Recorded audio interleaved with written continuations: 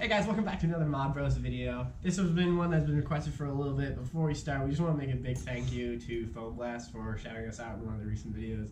It really helped us out and we got a lot of noise from their subscribers, so we thank you. And if you guys are here from Foam Blast, thank you for coming. I hope you guys like the channel. But with this video, we are going to be going over how I set up the internals for my Alpha Trooper and explaining how to make them.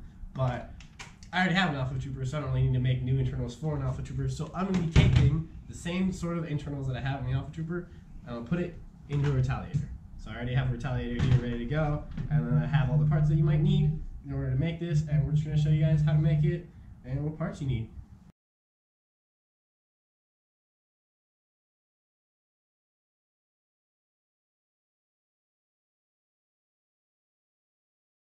Alright, so now we're going to be going over everything you need in order to build these homemade internals. Went to the store, grabbed everything else that I needed, and then now we'll cut to some clips of us getting in the store so we can show you exactly what parts you need. But it's actually very simple. Mostly what you need, half inch PVC, three quarter inch PVC, and then one inch PVC. That is how you build this breech uh, bolt sled sort of setup. And then you also need some acrylic for these side plates if you're doing it for a retaliator. For an Alpha Trooper, I didn't need them.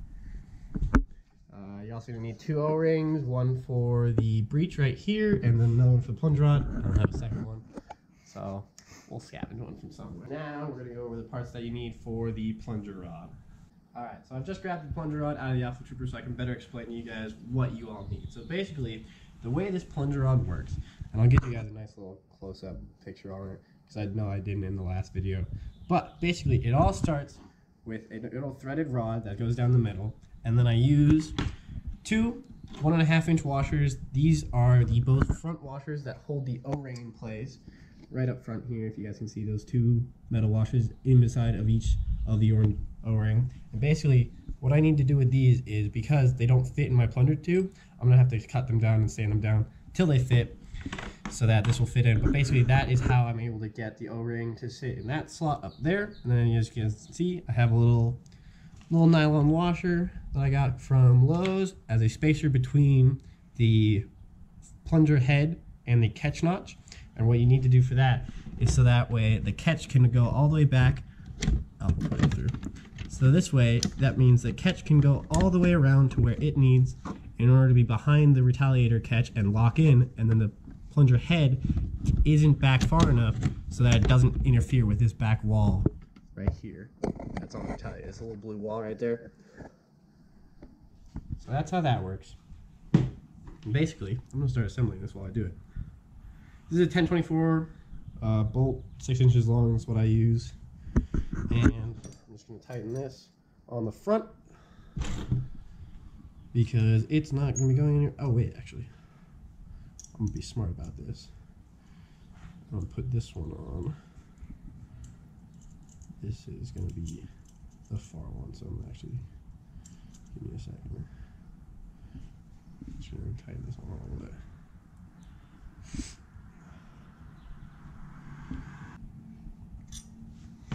Alright, so now, with once we have that nylon washer separating these, we have another wa washer, which is one of these. This is just a one inch washer. And again, I had to cut it down in order to fit into the catch on my Alpha Trooper.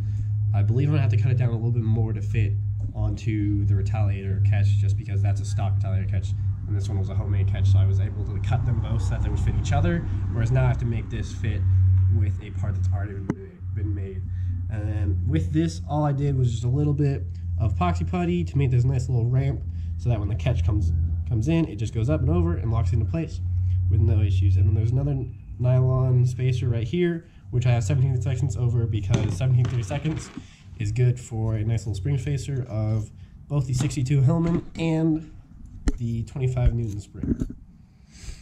For this one, I'm going to be using 9 16 because I have it. It'll still work with both the springs, so that's what I'll be doing. And yeah, I'm gonna get started on that. So first things first is the one inch washer right on there. Uh, I'm gonna need I'm gonna need to cut these down. Which is where the tools come in. So for all this build, I have a drill, an angle grinder, and a Dremel. That should be all you really need. Everything else is pretty easy to cut. I made this entire this entire piece already with the Dremel and it was no issue. But once we get onto this, I'll give you guys a full explanation. how to make that. And so, so the length that you have to cut down the nylon facer between the catch and the plunger head is kind of to be determined. I just sort of cut it down until I felt proud with it. I'm actually mark it off with a sharpie, and then I can measure it down for you guys.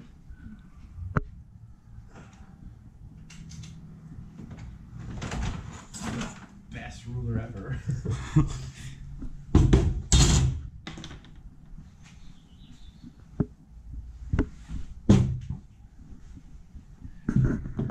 Alright, so this is a half inch nylon spacer that's tapped for what like 1032 basically. And I'm just gonna use it and it looks like I'm gonna be cutting it down to about uh, 3 eighths of an inch.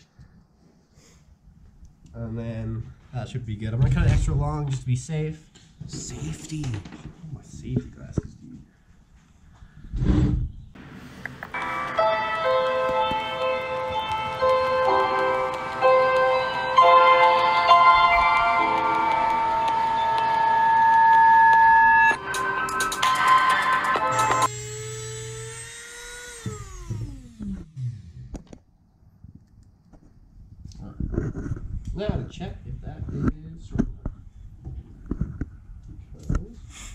save as much space as possible with this build because I want it to be allowed. I want to be able to feed full length darts, so I need to save every little inch that I possibly can when making this. And I can cut that down just a little bit more. A lot of this.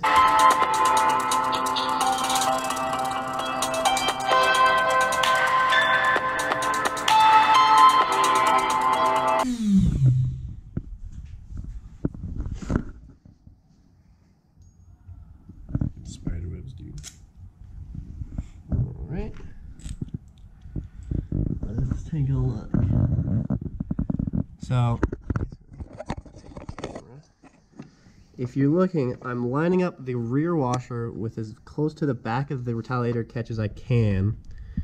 And then I'm trying to line up this front washer with the little wall down there. It takes a little bit to see, but I have about a couple millimeters more that I can sand it down. Be good to go.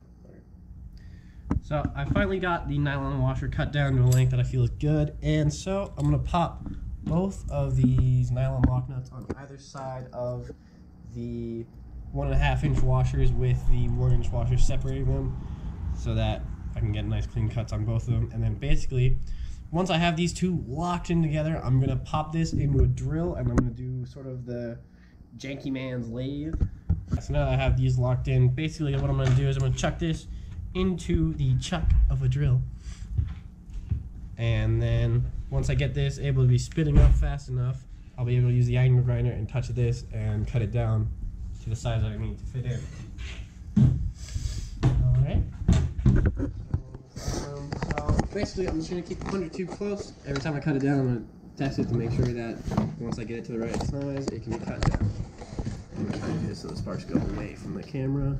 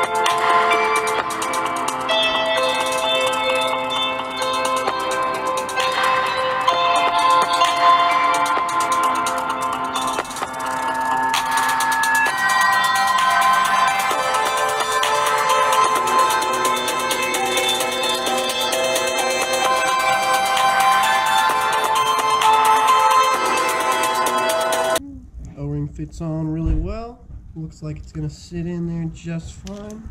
And the plunger tube. He fits.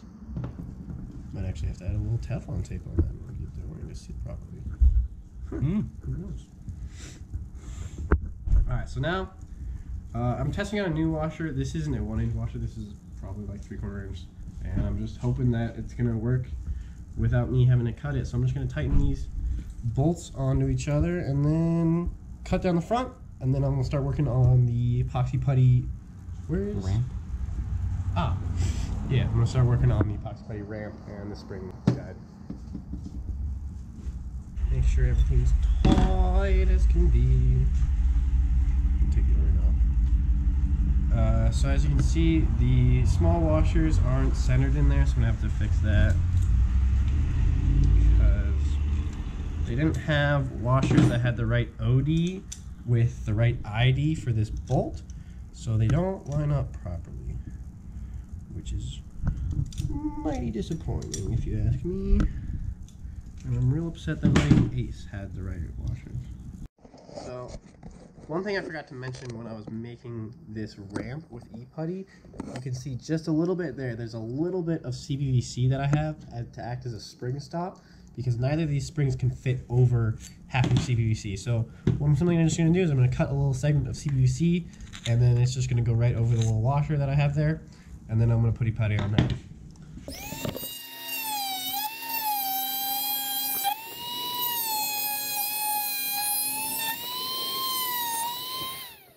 Rest in peace.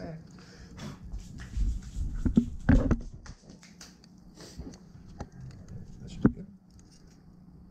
Perfect.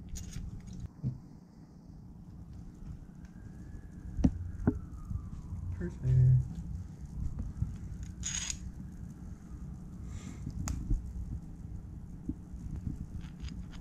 Alright. Can I get soup? So another great thing about the CPVC is that it fits onto these half-inch nylon spacers that I have perfectly. Oh, okay, I lied. Point. Jesus Christ.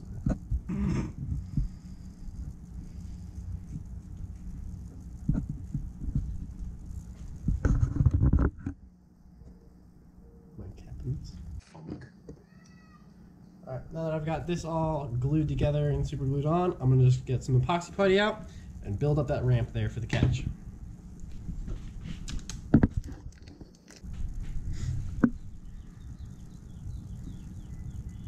Doesn't really matter how much you put on. I'm gonna clean this up afterwards using my good old lathe technique. So definitely doesn't look great right now, but I'm gonna let that dry and then I'll be able to sand it. And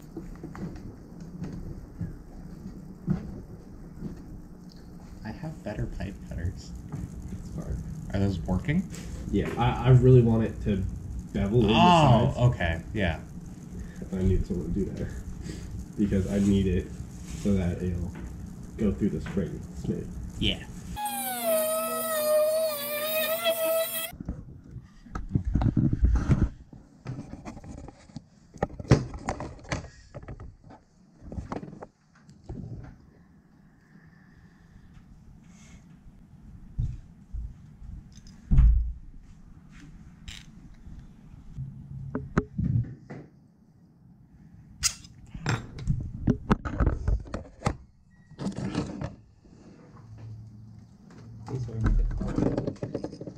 Not ready yet. Look at that pretty little birdie.